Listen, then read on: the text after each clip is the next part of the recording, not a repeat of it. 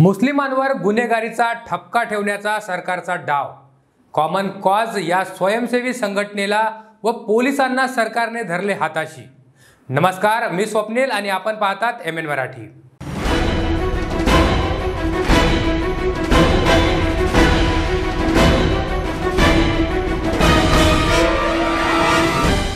देशात R S S Bajrang Dal विश्व हिंदू परिषद सनातन यासारख्या ब्राह्मणवादी संघटना बॉम्बस्फोट तसेच दंगल घडवत आहेत. परंतु त्यांना क्लीनचिट देत मुस्लिमांवर गुन्हेगारीचा ठपका ठेवण्याचा केंद्र सरकारने डाव आखलाय. कॉमन कॉज या स्वयंसेवी संघटनेला व पोलिसांना हाताशी धरून मुस्लिमांचा नैसर्गिक कल गुन्हेगारीकडे आहे असा ठपका ठेवण्यात आला आहे त्यामुळे मुस्लिम समुदायाकडून संताप व्यक्त केला जात आहे. कॉमन कॉज या स्वयंसेवी संघटनेने India's status of policing in India असा अहवाल तयार केला आहे.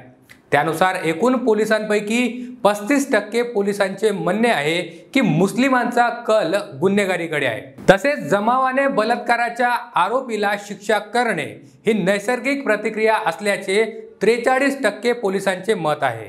हा अहवाल पोलीस दलाची संख्या आणि कामकाजाच्या परिस्थिती संदर्भात तयार करण्यात आला आहे.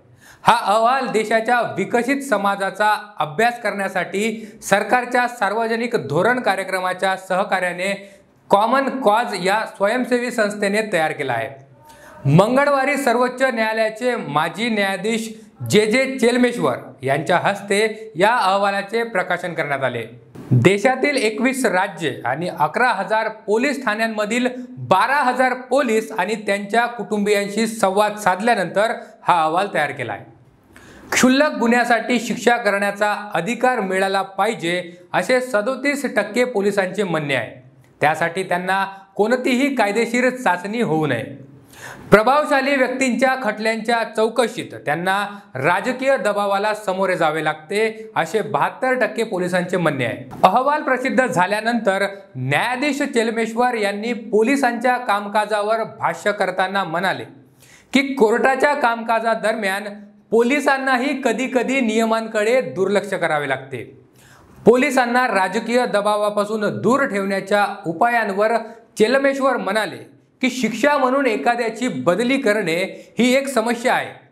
घटनात्मक पदावर असताना न्यायाधीशांनाही या समस्येचा सामना करावा लागतो. म्हणूनच कुणीही बदलीपासून सुरक्षित नाहीत.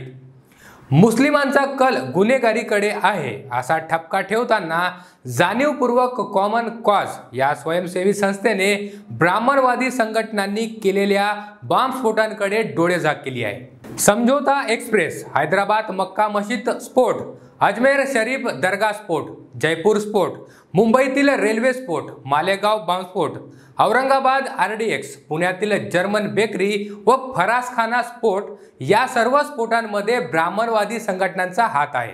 म्हणजे ब्राह्मणांची मुले गुन्हेगारीकडे वळत असताना मुस्लिमांना टार्गेट करणे म्हणजे चोर सोडून संन्यासाला फाशी अशाच प्रतिक्रिया लोक व्यक्त करताना दिसत आहेत. ब्राह्मणवादी संघटना कशा बॉम्बस्फोट करतात याची पोलखोल राज्याचे माजी पोलीस महानिरीक्षक एस एम मुश्रीफ यांनी हु किल्ड करकरे व Brahmins bomb and Muslim hand या पुस्तकात केली आहे. ही पुस्तके वाचल्यास कॉमन कॉज या स्वयंसेवी संघटनेचे व पोलिसांचे डोळे उघडतील अशा प्रतिक्रिया व्यक्त होताना दिसत आहेत. आतापर्यंत इतकेच. आपण पात्रा एम एन मराठी धन्यवाद.